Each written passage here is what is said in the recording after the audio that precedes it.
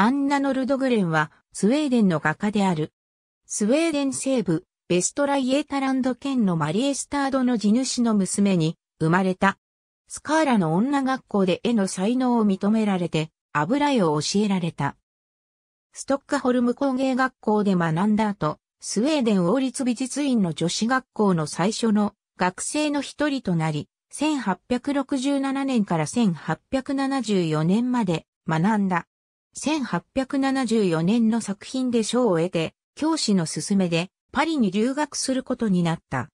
1874年から1877年までパリのアカデミージュリアンでトニロベール・フルーリーに学び、その後、肖像画家のカロリュス・デュランにも学んだ。写実主義の画家、ジュール・バスティアン・ルパージュの影響を受けた。パリには1883年まで滞在した。この時代のパリには、マリバ・シュキルツフラの多くの女性画家が各国から集まっていて、ノルドグレンもその一人であった。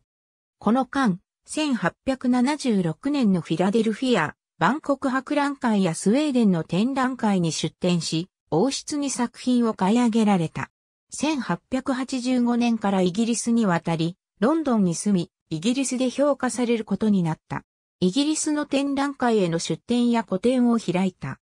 ロンドンでは、アイルランド出身の女性美術家、パーサーやアメリカ出身の画家、ジェームズ・マクニール・ホイッスラーと交流した。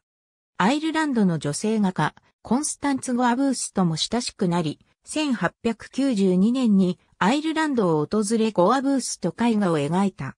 1899年にスウェーデンに戻るが1902年まではロンドンでの仕事を続けた。